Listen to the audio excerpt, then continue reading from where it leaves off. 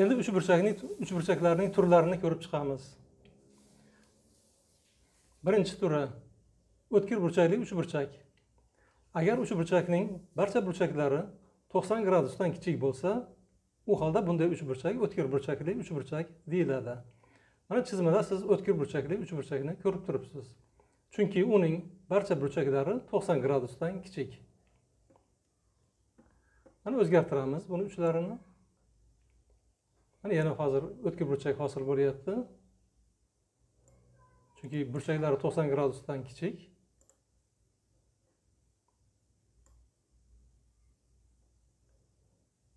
Mana yana o'tkir burchak hosil qilyapmiz.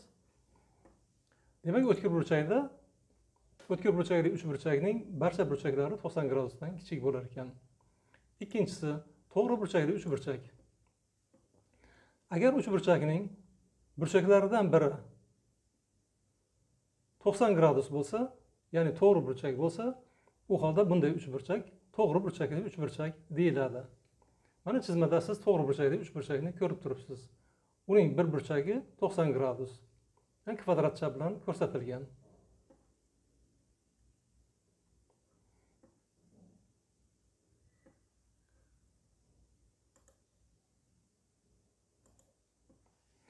O'tmas burchakda uch burchak.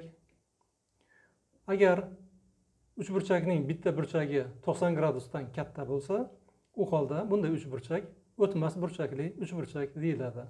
Mana chizmada e, bitta uchburchak tasvirlangan uning bir burchagi bir yuz o'n besh gradusga teng. Ya'ni to'qson gradusdan katta. Shuning uchun bu uchburchak o'tmas burchakli uchburchak bo'ladi. Mana o'zgartiramiz burchagini. Bir yuz yigirma bir gradus. To'qson gradusdan katta. Shu sababli bu bu uchburchak yana o'tmas burchakli uchburchak bo'ladi. Uchburchaklar ichida muhim o'rin tutadigan uchburchaklardan biri teng yonli uchburchakdir agar uchburchakning yon tomonlari teng bo'lsa u holda bunday uchburchak teng yonli uchburchak deyiladi. Mana bu uchburchakda ikkita yon tomoni b ga teng bir xil qilib yozilgan b b. demak bu teng yonli uchburchak teng yonli uchburchak o'tmas burchakli bo'lishi ham mumkin o'tkir burchakli bo'lishi ham mumkin to'g'ri burchakli uchburchak bo'lishi ham mumkin masalan uch uchburchakda a tomonni o'zgartiraylik b tomon ham shunga mos ravishda o'zgaryapti mana hozir o'tmas burchakni o'tmas mana endi uchidagi burchagi o'zgarib boryapti. Hozircha to'qson gradusdan kichik o'tkir burchakli. To'qson gradus endi to'qson gradusdan katta. Endi o'tmas burchakli uch burchak hosil bo'ldi. Teng yonli o'tmas burchakli uch burchakni ko'rib turibsiz. Ana endi teng yonli o'tkir burchakli uch burchak. Demak shu burchagi to'qson gradus bo'lishi mumkin. To'qson gradusdan katta bo'lishi ham mumkin to'qson gradusdan kichik bo'lishi ham mumkin. Shunga qarab turib o'tkir burchakli to'g'ri burchakli yoki o'tmas burchakli teng yonli uchburchak deb yuritishimiz mumkin.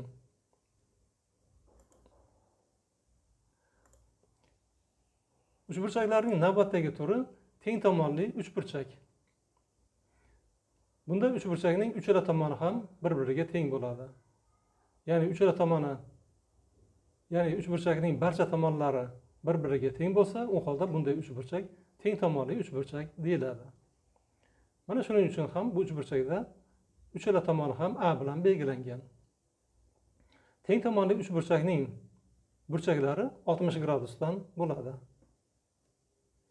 Endi mavzuga doir masalalar ko'raylik.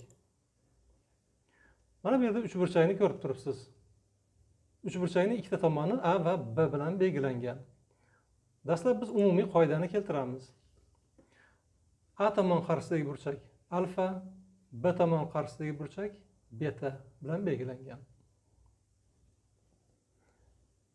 Agar a tomon b tomondan kichik bo'lsa ya'ni a kichik b bo'lsa u holda bu tomonlar qarshisidagi burchaklar uchun ham xuddi shunday tengsizlik o'rinli bo'ladi. Ya'ni alfa kichik beta bo'ladi. Bu yerda alfa a tomon qarshisidagi burchak beta b tomon qarshisidagi burchak. Yoki aksincha a alfa alfa burchak qarshisidagi tomon b beta burchak qarshisidagi tomon.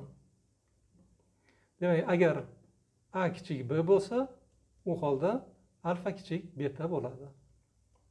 Agar a bga teng bo'lsa u holda alfa betaga teng bo'ladi. Misol masalalar yechayotganda biz mana shu qoidadan e, foydalanamiz. Birinchi masala. Mana uchburchakning burchaklari berilgan. o'ttiz to'rt gradus oltmish olti gradus sakson gradus. Ikkita tomoni a va b. Bu yerda a va bga a va blar qanday tengsizlikni qanoatlantiradi? Ya'ni avvalbalar orasida qanday munosabat o'rinli? Shuni aniqlaymiz. Buning uchun bu tomonlar qarshisidagi burchaklarni qaraymiz. A tomon qarshisida o'ttiz to'rt gradusli burchak b tomon qarshisida sakson gradusli burchak turibdi. Demak endi bu burchaklarni taqqoslaymiz. o'ttiz to'rt gradus sakson sakson gradus. O'ttiz to'rt gradus saksondan o'ttiz to'rt saksondan kichik. Demak uni qarshisidagi tomonlar ham shuni qanoatlantirish qanoatlantirishi kerak. Ya'ni a kichik b bo'lishi kerak. Shuning uchun javob a kichik b. Chunki bu tomonlar qarshisidagi burchaklar mana shunday tengsizlikni qanoatlantiryapti.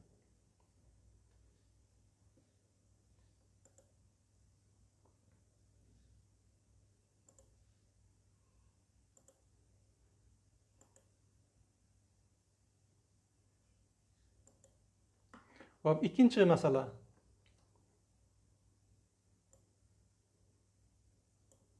Mana quyidagi masalani ko'ramiz. Mana bu yerda uchburchakning burchaklari berilgan. Ikkita tomoni 10 va 11 bilan belgilangan, belgilangan. Shunday holat bo'lishi mumkinmi? Ya'ni mana bu tomon 65 gradusli burchak qarshisidagi tomon 10 ga, 37 gradusli burchak qarshisidagi tomon o'n birga teng bo'lishi mumkinmi? Buning uchun biz yana yuqoridagi qoidaga murojaat qilamiz. Bu tomonlar qarshisidagi burchaklar o'ttiz yetti va oltmish besh gradus. o'ttiz yetti oltmish beshdan kichik. Bu burchaklar qarshisidagi tomonlar ham shunday tengsizlikni qanoatlantirishi kerak. Ya'ni o'n bir kichik o'n bo'lishi kerak. Lekin aslida bu yerda bunday tengsizlik bajarilmaydi. O'n o'n birdan kichik. Shuning uchun bunday uchburchak bo'lishi mumkin emas. Tomonlar bunday tengsizlikni qanoatlantirishi mumkin emas. Kichik burchak qarshisida kichik tomon yotish kerak. Katta burchak qarshisida katta tomon yotish kerak. A bu yerda teskari bo'lib qolgan. Kichik burchak qarshisida o'n bir katta burchak qarshisida o'n yotibdi. Yana yuqoridagi qoidani esga olamiz.